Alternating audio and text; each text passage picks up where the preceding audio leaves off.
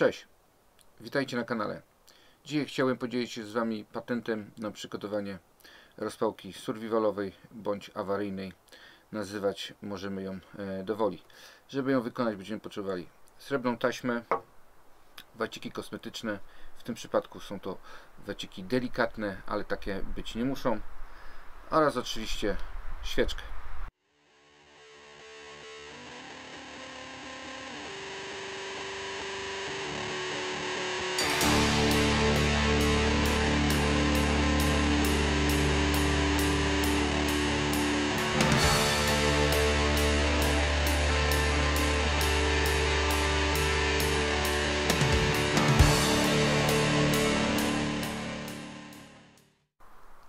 Nasza rozpałka e, awaryjna to nic innego jak wspomniany wacik e, kosmetyczny nasączony woskiem i zaklejony dookoła taśmą, tak żeby wszystko w środku było hermetycznie zabezpieczone.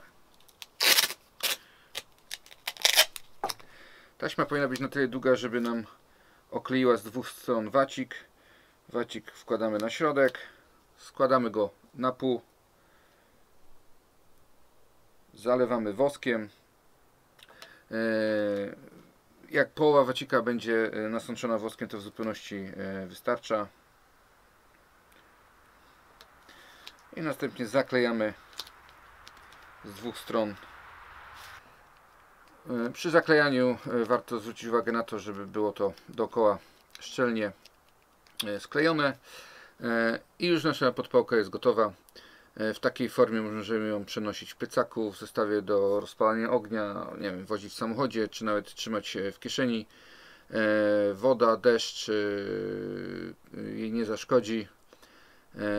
A gdy przychodzi co do czego, wystarczy ją rozciąć, wyskrobać ze środka odrobinkę waty z naszego wacika kosmetycznego, podpalamy i taka podpałka powinna nam się palić przez kilka minut, pozwalając yy, uzyskać yy, na tyle stabilny płomień, by przygotować sobie yy, dalszą część ogniska.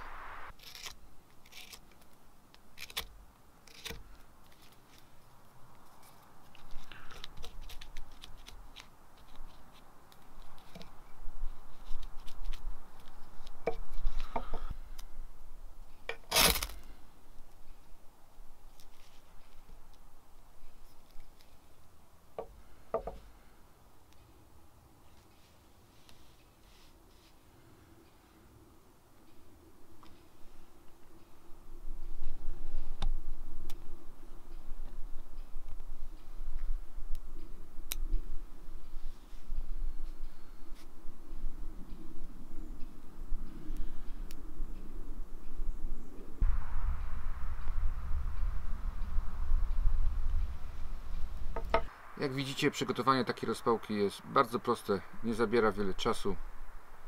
Warto takie, taką mm, rozpałeczkę mieć zawsze e, ze sobą. E, ja taką rozpałkę mam zawsze ze sobą, e, gdy wybieram się w teren i używam ich wcale nie w sytuacjach ekstremalnych i survivalowych, ale na przykład gdy chcę szybko rozpalić sobie ogień na przygotowanie jakiegoś posiłku w czasie wędrówki, czy na koniec dnia, kiedy jestem już na tyle zmęczony, że zwyczajnie nie chce mi się szukać materiałów do stworzenia chłopki.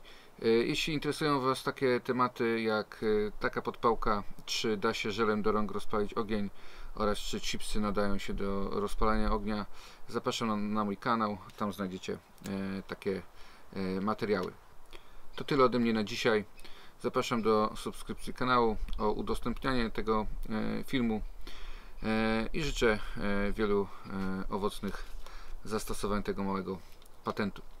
Pozdrawiam Was, cześć!